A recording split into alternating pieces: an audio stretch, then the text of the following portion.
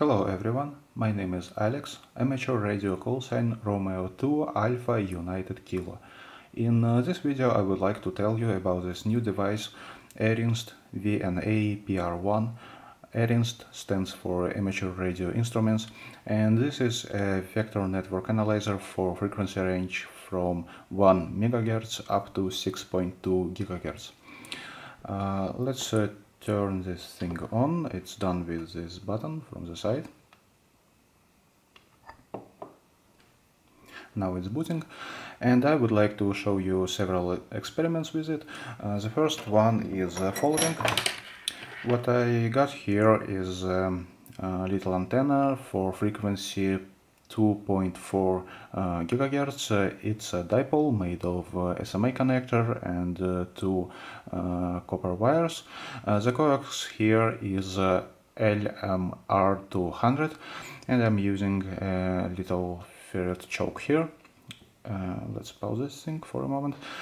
Um, what I'm doing now is fixing the antenna in a vise just because it's a little uh, a bit con more convenient. Now I'm connecting the antenna to the Arinst and what I'm going to do next is switch to let's let's check the SWR and uh, change our frequency our center frequency to 2.4 gigahertz and use a span let's say 400 megahertz because why not? And uh, let's see what it tells us.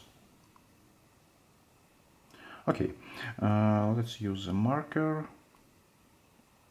Uh, switch to showing us SWR and we see that SWR is um, not that bad. It's point, point it's uh, one 0.6 about that.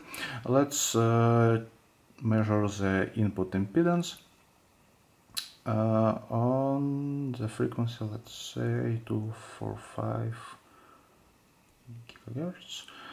Uh, not SWR but Z Okay, uh, we are close to the resonance and we see the resonance about uh, 70 ohms, 71 ohms, uh, exactly as uh, predicted by the theory. Uh, of course, I'm measuring the antenna through the coax and uh, it's affected by um, several metal objects I have here in the room, but it's, um, it's quite close to what the theory tells us. Uh, now let's pause this thing. Um, and this was the first experiment. The second experiment I would like to show you is uh, I would like to know the frequency response of this uh, filter. It's a CW homemade uh, crystal filter for uh, intermediate frequency 12 megahertz. And uh, to measure it, let's disconnect these cables. And connect them to the device.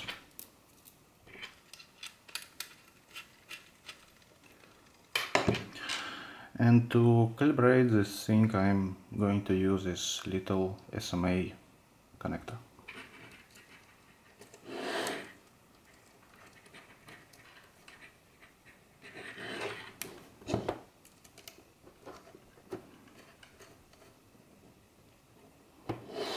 okay like this. And let's change our center frequency to 12 uh, megahertz. Our span to oops it's scanning. Okay. Uh, and we see about 50 ohms which is a good sign. Uh, nevertheless uh, change our span to 10 kilohertz. And bandwidth is okay. The number of points is okay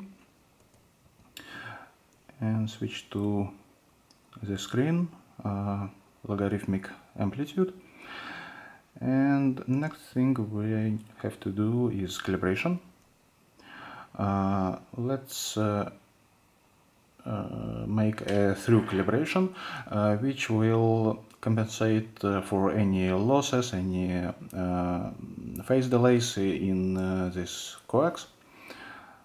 Let's run through calibration.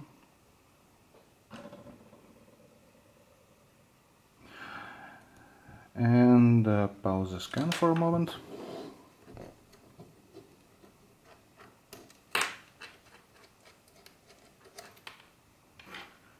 and connect our DUT.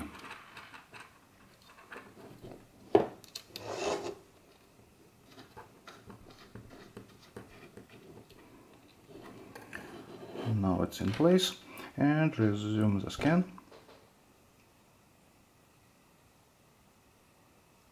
And uh, what we see now is a frequency response of uh, the filter. Uh, the reason why I choose uh, this particular experiment is because this filter is a very narrow band, its uh, pass band is uh, only about 500 Hertz and not many devices will show you such a narrow frequency response. Let's turn let's turn the marker and uh, find our maximum. Uh, no no we have we're interested in magnitude and it's about 4.7 dB uh, which is uh, the insertion loss of this filter. And uh, it's the right value I checked it with my Rigol DSA uh, 815 uh, spectrum analyzer.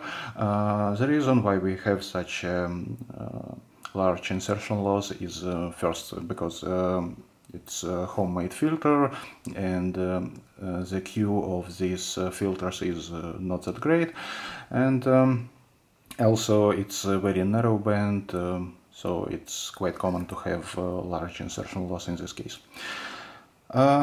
I guess it's uh, all I would like to show you today. If um, you have some experiments in mind I could uh, show you, please uh, leave your comments. Uh, if uh, you would like to see the teardown uh, video of this device, please leave your comments. Um, the reason why I am telling you about this device is because um, it's, it's really it's quite well and um, I don't think uh, many foreign uh, amateur radio operators uh, know about uh, Arinst's devices.